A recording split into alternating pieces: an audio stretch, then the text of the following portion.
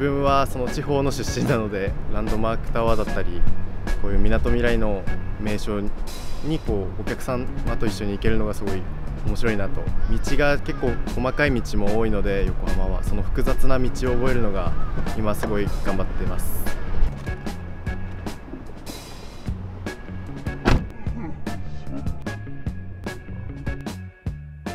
横浜の街を楽しめるってことが一番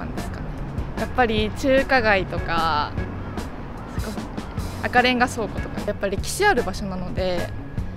あとおしゃれなので やっぱり喜んでもらえる場所かなと思います。タクシー事業としての規模やサービスはもちろん県下でもトップだと思ってますし横浜っていう街が観光地である上に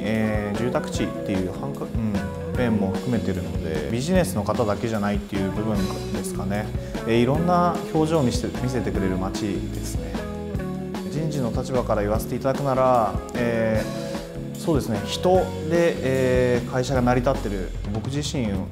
えドライバー出身としてかなり育ててもらったっていう感情が、え大きいですので。上下関係もなくいろんな人がもうすごいフレンドリーに接してくださって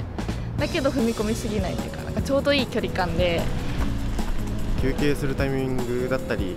働くタイミングっていうのもこう自分で調整できるので。自分の働きやすい働き方で働けるので。ある程度出庫時間なんかは決まってるんですけども自分の時間プライベートの時間なんかがかなり取りやすいっていうのは本当ライフワークバランスっていう面をとってもいいお仕事だなドライバーさんたちがどうしたら働きやすくなるかなっていうようなところをもっともっと考える研修をまめに開いていくとかできる限りサポートしてあげたいホテルマンのような接客とかサービスは求めてるわけではなく親しみやすい、え、地域の方々に優しくできるそういった方々を求めてます。20代の方から60代の方まで、え、働ける業種ですので、